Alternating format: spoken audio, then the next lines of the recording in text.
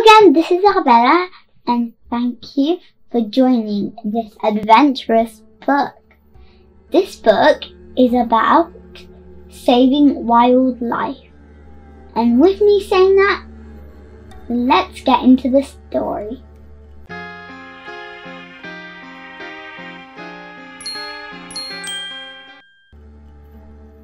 Mr. Johnson took his class away for the week. They went to a big house called Seabay House. Mrs. May went too. The children were excited. Seabay House was near the sea and there were lots of interesting things to do. Everyone unloaded the bus. Some of these bags and cases are heavy, said Mr. Johnson. We're only here for a week. Mrs. May found a toothbrush. Whose toothbrush is this? she asked. Oh dear, said Biff. I think it's mine. Mr. Johnson showed the boys their room. You'll be sleeping in here, he said. I want the top bunk, shouted Chip. No, I want the top bunk, shouted Wilf. Mr. Johnson tossed a coin. Heads or tails, he said. Mr. Johnson gave the children a nap. Then he took the children for a long walk. After a while, they stopped for a rest. The children looked at their maps. Mr. Johnson showed them the places they could see. Your map's upside down, Biff, said Wilf. Nadine pointed to a little island out to sea. What's that island called?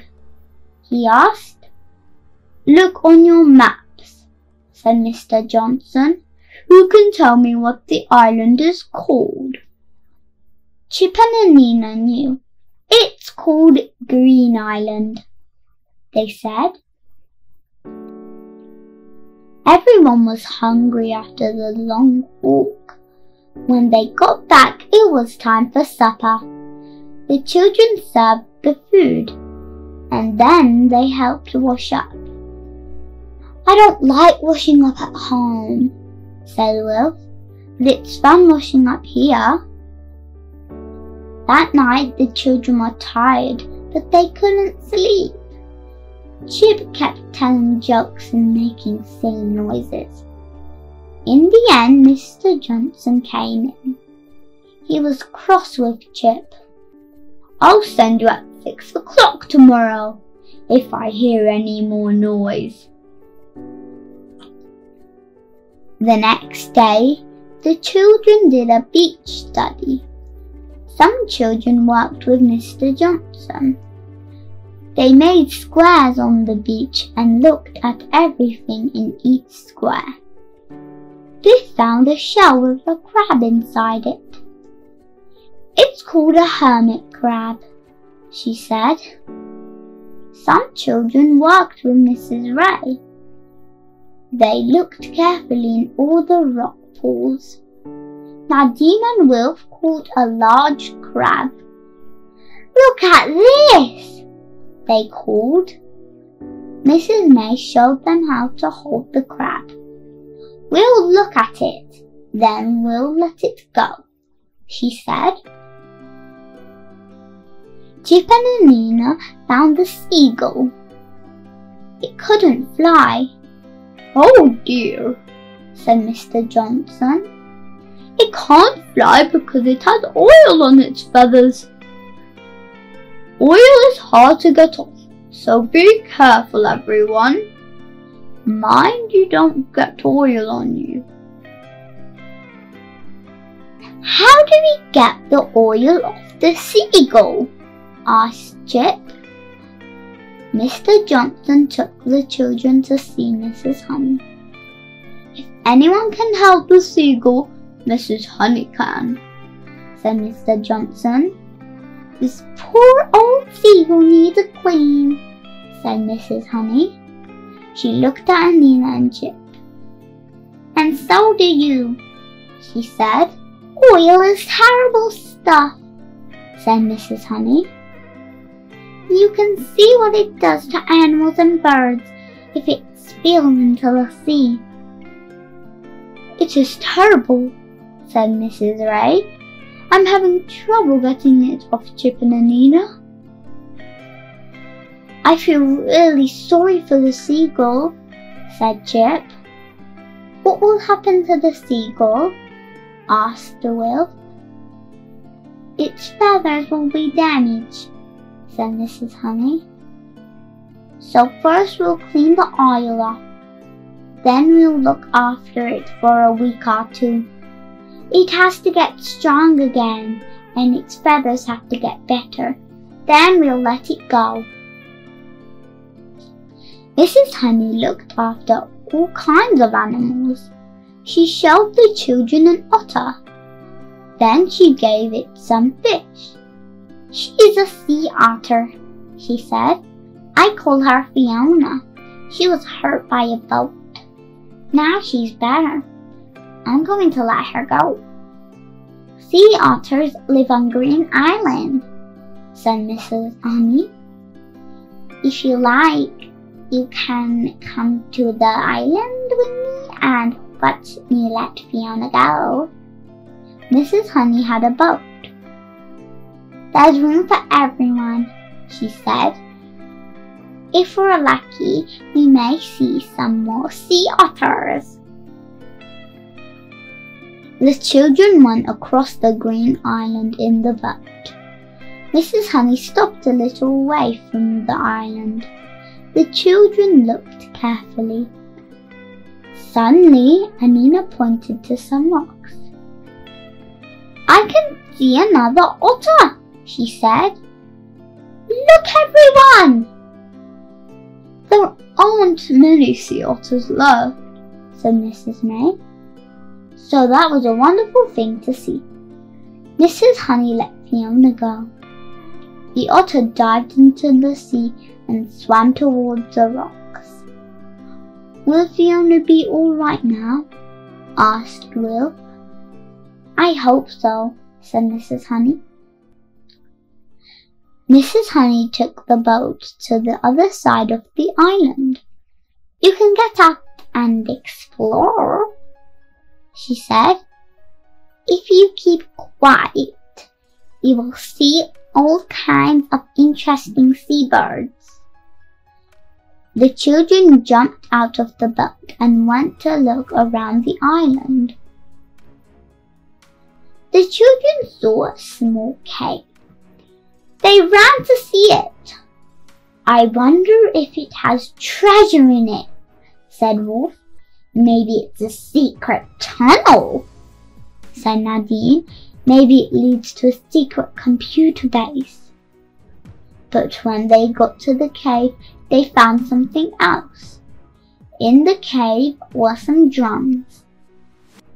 I don't like the look of this, said Mrs. Honey.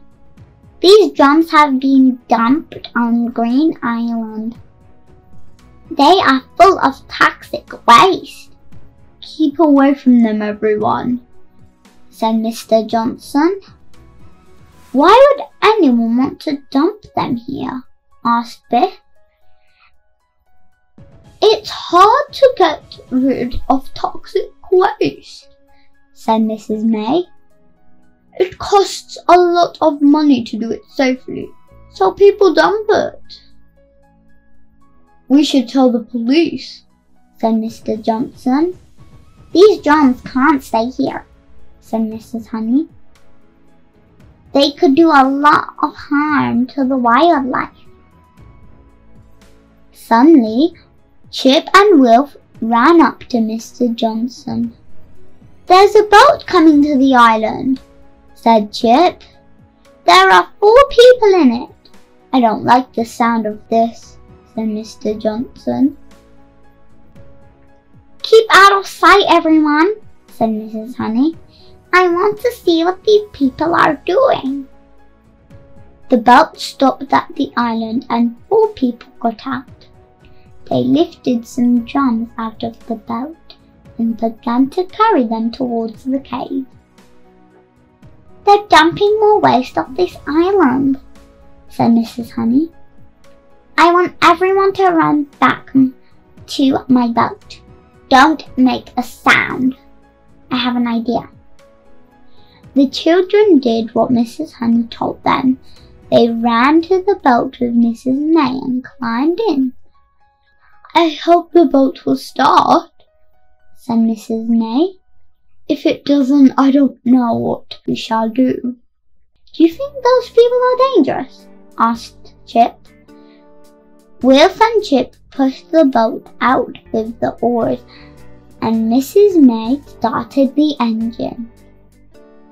So far, so good, said Mrs. May. Let's hope Mrs. Honey's idea works. I hope Mrs. Honey and Mr. Johnson will be all right, said Wilf. Mrs. Honey's idea worked. She and Mr. Johnson had taken the other boat. The other people couldn't get off the island without it. Hooray! shouted the children. They won't get off Green Island unless they swim all the way back. What are you doing with our boat? shouted a man. Bring it back. I'll get the police to bring it back, shouted Mrs. Honey. You can tell them why you've dumped toxic waste on Green Island. Grr, said the man. The police took the people off the island. Taking their boat was a brilliant idea, said Mr. Johnson. I'm glad we caught them, said Mrs. Honey. I'm glad we caught them, said Mrs. Honey. And I'm glad you are with me. I couldn't have taken that boat by myself. What an adventure, said Mrs. May. Look at those drums of toxic waste, said Wilf. I can't think why people would dump them where they could do so much harm. I'm glad the otters will be safe on the island now, said Anneena. At the end of the week, there was a party. Mrs. May played her guitar and everyone sang songs. Mrs. Honey came. She told the children stories about some of the animals she had looked after. But you had the best story to tell, she said. It isn't every school trip that becomes famous. A photographer came. She made everyone stand in a group. Then she took a photograph. We're going to be in the newspaper, said Wilf. We are going to be famous. I've never been famous before, said Chip. I wonder what it feels like. The next day, the story of Green Island was in the newspaper. The children were excited. I'm going to buy three newspapers, said Chip. One for me, one for Mum and Dad, and one for Gran. Now I'm famous! I don't feel any different, said Boyle. And unfortunately, that is the end of this adventurous story. Hope you enjoyed this book. If you asked me, I love this book. It's just one of my favorites now. And I will see you next time, my friends. Goodbye for now.